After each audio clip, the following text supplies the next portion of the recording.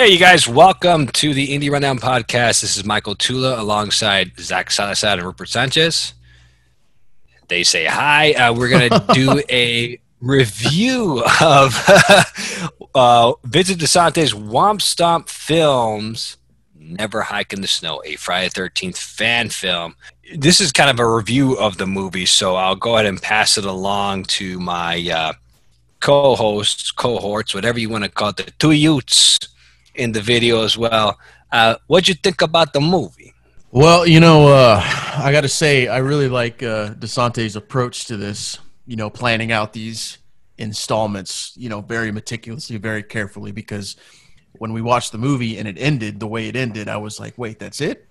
Uh, hold on, what's what's up with this? What's up with this? Where what happened? You know, it ended kind of abrupt, abruptly for me. So, you know, it's nice to know uh, this was previously unknown knowledge to me, but now it's nice to know he has more in the can. So we'll get to revisit those characters, and uh, I kind of like it. It's like anthology stuff. It's kind of like you know little pieces and pieces of the puzzle. But yeah, man, uh, I enjoyed it. It was a good watch. Uh, from a technical side of things, it was beautiful. You know, very good uh, camera quality. Locations were great, just like Never Hike Alone. Some of the acting was a little bit lackluster, but it wasn't enough to kill the movie for me. You know, there's still enjoyable uh, moments in the film, and um, the tension. You know, tension's always great with Jason. I'm not a big Friday the Thirteenth fan as you guys are, but from the Friday the Thirteenth movies that I've seen in the past, I think this did a really good job of replicating that. You know, the es- essence and lore of Jason and uh, stuff like that. So yeah, I mean, at the end of the day, it was cool. That was great. From a technical perspective, I thought it was really well put together. Um, lighting wise, you know, people there's so many moving like moving sequences, right? Like they're pu- pushing you from one from one location to another without, you know what I mean, cutting away or whatever. It's like a long, longer tracking shot, and those things are complicated to light, mm-hmm. you know, mm-hmm. especially at night. Um, so I thought, I thought from a technical perspective, from a lighting camera perspective, it was really well put together. Um, and yeah, and then the the you um to uh, Mike, you mentioned the the body cam stuff.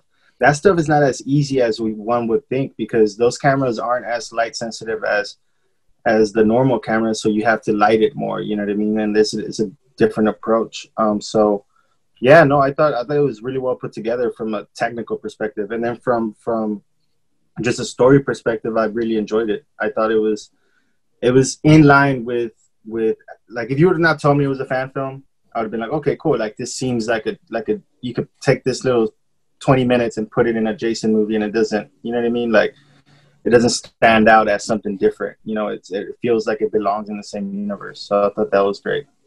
Okay, uh, awesome. And so we have um, listen, thirteen thousand views. This was released nine Eastern time. It's now ten fifty three Eastern time. Thirteen thousand views already. That's so crazy. these guys are going to get a lot of burn yeah. off of this. And there's something to be said. Listen, they they um, you know, from my point of view, uh, Never Hike Alone was a great slow burn. It was almost like someone's who hikes alone in his vlog in his blog and did a great job setting him up. Uh, uh, and Andrew, the actor, and that did an awesome job. Pretty much having to carry the film from an acting standpoint for about 80, 90 percent of it because he was the only character other than Jason uh, who played uh, who Vincent DiSanti played did an excellent job as well. Um, was kind of like a slow burn, kind of like a uh, semi found footage type movie that was really well done. And then this one was like something completely different, uh, which I appreciated a lot. And listen, uh, again, technical standpoint, shooting in the snow, I can only imagine, you know, I mean, Rupert, you can tell, you know, you're, you're the camera guy. I don't know. It, to me, it seems like it'd be a pain in the ass. And I saw in the behind the scenes footage that they yeah. had to wait for the damn snow to come down. So a lot of stuff that's out of your control that you have to, plan for, hope for, wait for. So yeah. big props to them for putting together a beautiful film. And I thought that it's set up, you know, it, would be interesting to see how this would, you know, from people who hadn't seen Never Hike Alone, how this sets it up, you know, for someone who's going to watch it like that. But um, anything else? Otherwise, we're going to wrap this up. I'm good, man. Let's get out of here. It looks like we're going to wrap this up, ladies and gentlemen. Again, that's uh, yeah, Indie Rundown podcast uh, review of Never Hike in the Snow.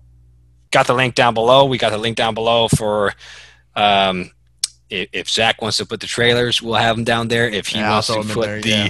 link to the film, we'll have it down there. If he wants to have Never Hike alone, we'll have it down there as well. Uh, check in there, down man. below for the links. He'll throw it all in there. Even my phone number too. That There too. Why the Yes. hell not? And, Yeah. and and yeah, leave a link. Tell us what you think in the comments if you enjoyed it as well. Uh, if you enjoyed Never Hike Alone, and uh, that's about it. Again, Zach, Rupert, it's Mike. Thank you so much, and uh, we'll catch you next time. Be sure to follow the podcast on Twitter and Instagram at The Indie Rundown and like our Facebook page, The Indie Rundown Podcast.